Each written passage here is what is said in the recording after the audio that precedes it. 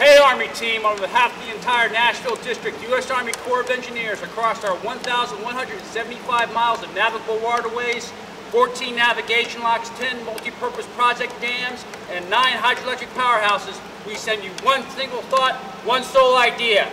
Go, Army!